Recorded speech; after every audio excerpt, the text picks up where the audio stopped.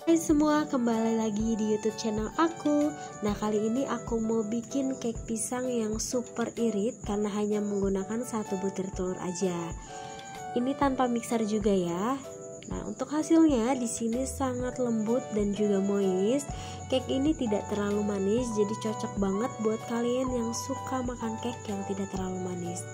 Nah, apabila kalian penasaran gimana sih cara buatnya, ikutin terus video aku sampai habis ya.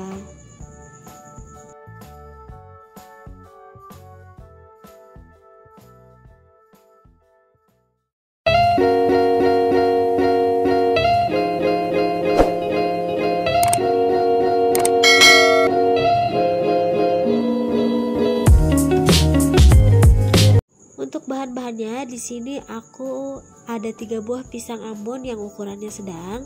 Apabila ukuran pisangnya terlalu kecil, kalian bisa menggunakan lima buah pisang ya. Kalian juga bisa menggunakan pisang raja atau pisang sejenis lainnya. Nah, ini dikupas lalu dilumatkan sampai halus.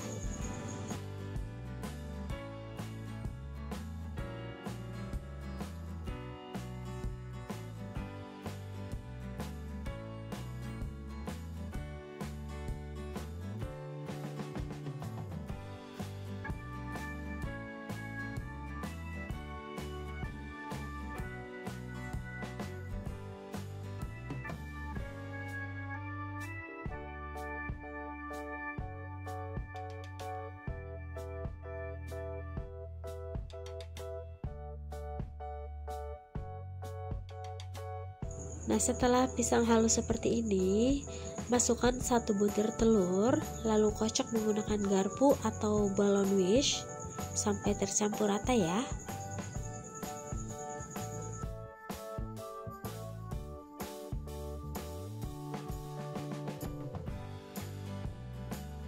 Setelah itu, masukkan satu saset susu kental manis putih. Lalu aduk rata kembali sampai tercampur.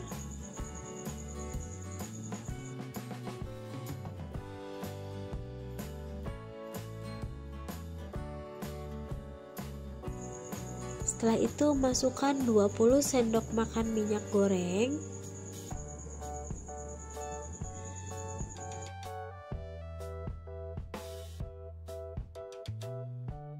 Lalu aduk rata ya sampai benar-benar tercampur rata.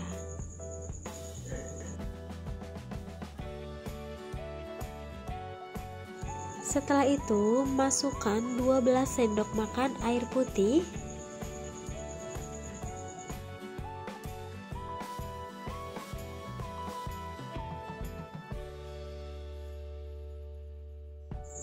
Lalu aduk rata kembali ya sampai tercampur.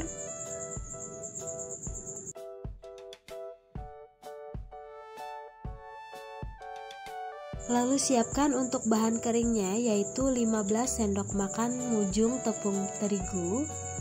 Nah, di sini aku menggunakan tepung terigu protein sedang ya.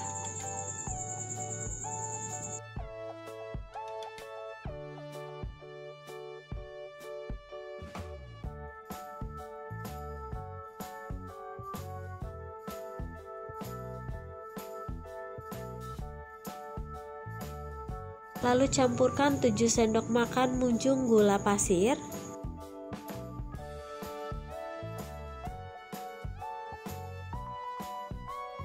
Setelah itu masukkan setengah sendok teh soda kue. Setengah sendok teh baking powder. Sejumput garam dan sedikit vanila bubuk. Ini aduk rata kembali sampai tercampur ya.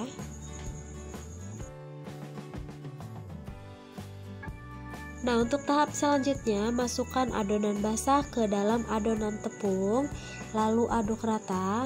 Nah, ini untuk teknik mengaduknya itu pelan-pelan saja, jangan terlalu kuat agar tidak menyebabkan cake itu nantinya menjadi bantat. Ini sampai tercampur rata saja ya.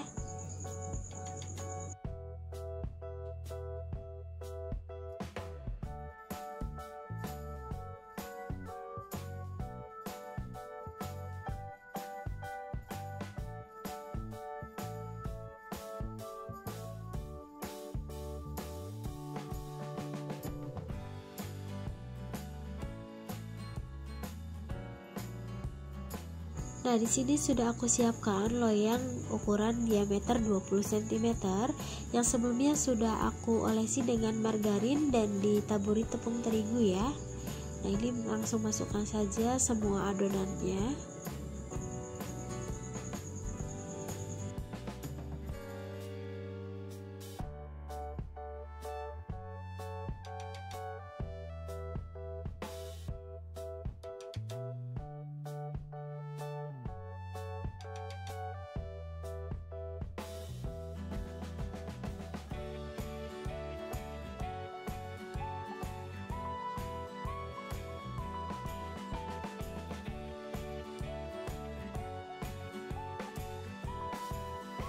Lalu beri topping di atasnya ya. Di sini aku menggunakan irisan pisang dan juga choco chip. Untuk topping ini kalian sesuai selera kalian saja ya.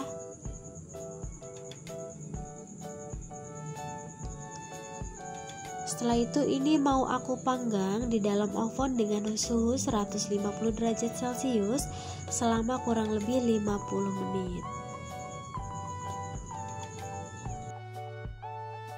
Nah ini dia cake nya sudah jadi. Nah ini mengembang banget ya jadi tinggi. Pasti kalian suka apabila kalian bikin. Nah apabila kalian suka dengan video aku Jangan lupa like, comment, dan subscribe.